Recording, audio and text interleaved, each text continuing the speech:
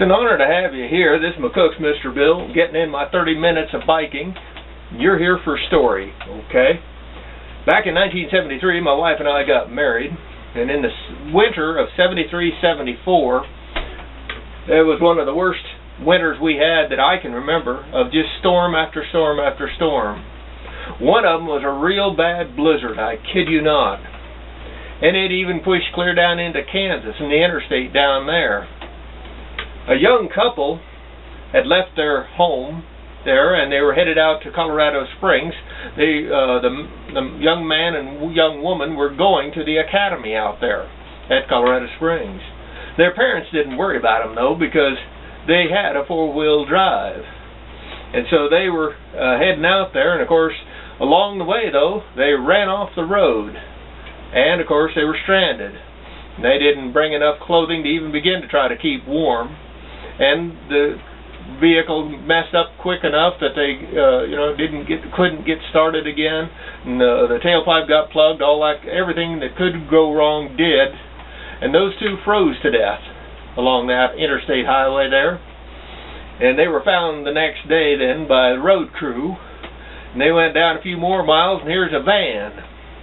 Now that van was owned by a guy that we knew I knew he uh, was part of the Black Powder Club, and he'd come up and shoot up here, and quite often. And he got uh, ran off the road too with his just an old van.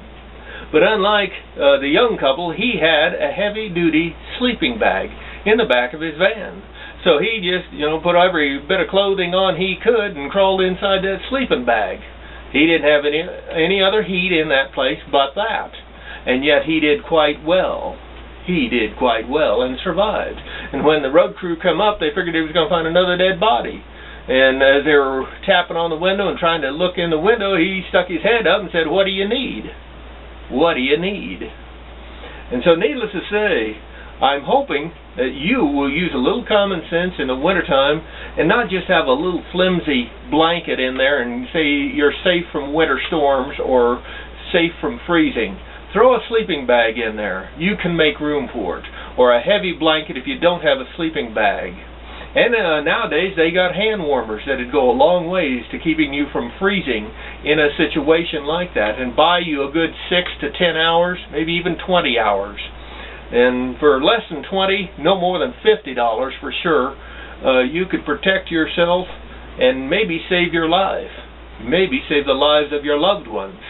And so keep that in mind. Every vehicle should have safety equipment and cold weather equipment to keep you going when things go wrong. This is McCook's Mr. Bill. I want to see you in 2013, so stick around.